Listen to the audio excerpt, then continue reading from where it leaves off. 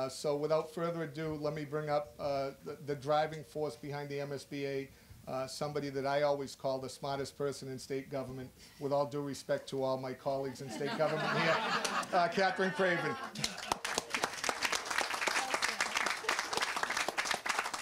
Thank you, Mr. Mayor. I know he's referring to my smarts only because I saw the wisdom of rebuilding Methuen High School, so. Um, But again, I'm so pleased to be here. Um, Rep- Linda Dean Campbell said to me, geez, it's been a few weeks since you've been in Methuen, and it feels like a long time.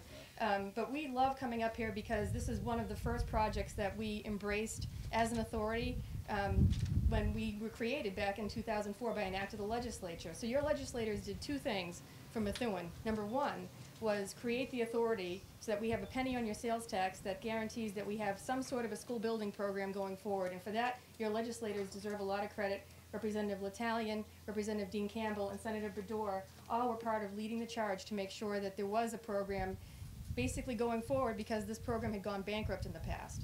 Um, so again, while we were while we we're trying to recreate a program that we found ourselves several billions of dollars in debt and figuring out how to sort of shovel out from under that, along comes Senator Baddour and Mayor Manzi. They talked to us about a pro- project that um, seems to have no end, which is a potential new Methuen High School.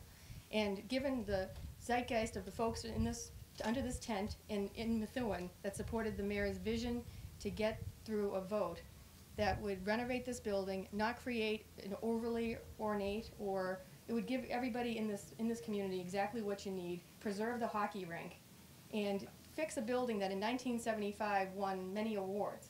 I have, and I always send this out to the folks um, in the architecture community as a reminder, that this building was an award-winning building back in 1975 for its futuristic vision. And I think Senator Baddour can quote this later on, but the first words that former Senate President Bob Travaglini had when he walked through the building were an uh, expletive. Like, how can anyone ever learn in this place? Um, we did a need survey, as Treasurer Grossman pointed out, back in 2005, and Methuen High School scored very, um, very high marks for your maintenance of your building, your building envelope, with the exception of the fact that nobody can really learn effectively when there are no walls between the classrooms.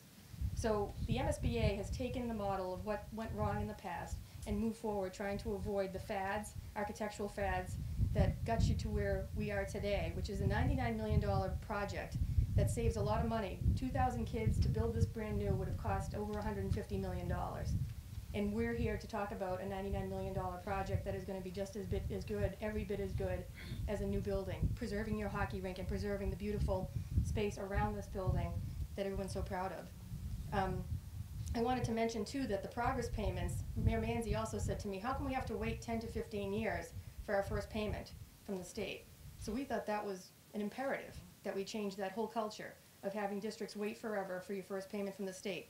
So I'm also pleased to tell you that given, um, given that we've received um, $6 million of requests from the city so far, we've already paid to Methuen taxpayers $3.7 million. And those are payments that would have been indefinitely put off 10 to 12 years for your first payment under the old program. And I know Treasurer Grossman has mentioned the science labs and the arts, but we're so proud to have been part of something that improves what was two science labs for 2,000 kids into something that is much more workable as for you to be able to compete, really, and for the kids in Methuen to be able to compete on a nationwide level with other students in different high schools that don't have to suffer with cuddling up to the front of the room in order to hear what the science teacher is saying. Um, I also mentioned that Senator Baddour gave me my first tour with Mayor Manzi of, of Methuen High School, where I, I learned a lot about why Senator Baddour talks to me the way he does about Methuen High School, having gone through the tour with him. But I would also like to point out that Representative Linda Dean Campbell and former Representative Barbara L'Italien were also always there with Councilor Zanni and others in our office, making sure that we prioritize this project, which is a con- convoluted project. I mean, it's a building that is in good shape. I had other places like Southbridge High School where the library had decided to break away from the building and creep down the side of a hill. You don't have a structural problem, you have an educational problem. And as I mentioned before, we learned from the mistakes of the past, so going forward, we did our most recent needs survey. We added to our most recent needs survey an educational component to try and figure out what the learning environment is like for the students and teachers in that building. And finally, I'd like to thank Mayor Manzi, without whose frequent text messages, I, maybe Senator Baddour might have sent me more, but you're right up there with, with um, the best of the texters in the middle of the night trying to figure out exactly if we were going to get this project moving, when we were going to get it moving, and how we got it moving.